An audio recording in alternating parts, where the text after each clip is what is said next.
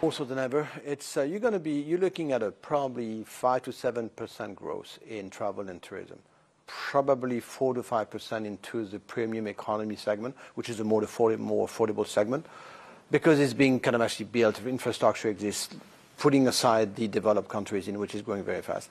The lifestyle growing at probably 12 to 15 percent, so three times premium and economy, and luxury probably two times, the 8 to 10 percent. So it's more difficult. Uh, it's more investment. It's more human capital. It's more experience driven. You can't fail, uh, but it's more rewarding. Uh, so brand value, fulfillment.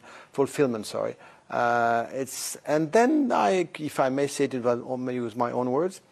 This is probably the niche we can play, being French rooted. The half of the luxury goods happen to be French uh, born. Americans don't play that much in that game, and nor do the Chinese. So that was a little niche in which Accor could invade the market. So you want to be the, the LVMH of hospitality?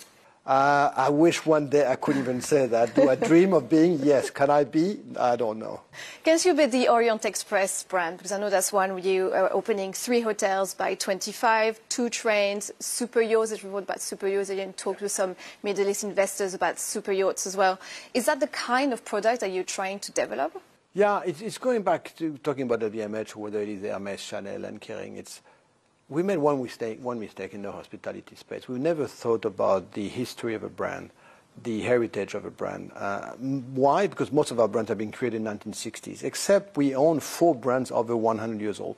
Pullman, Fairmont, Orient Express, and I forgot the fourth one.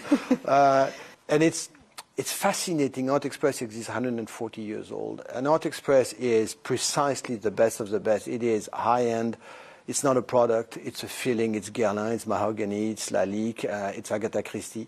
Uh, that brand is exactly what people can wish for. As long as you deploy it smartly, uh, so you're going to have an Orient Express in Venice, in Rome, in Istanbul, uh, where it's meant to be. Then we're doing the train that we found back, uh, was lost, missing in action since 1977, so 1906.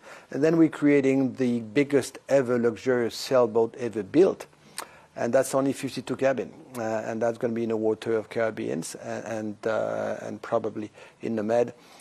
And that's never been done before. It's going to be the largest cabin, the best experience. It's going to be atrociously expensive and hopefully worth it.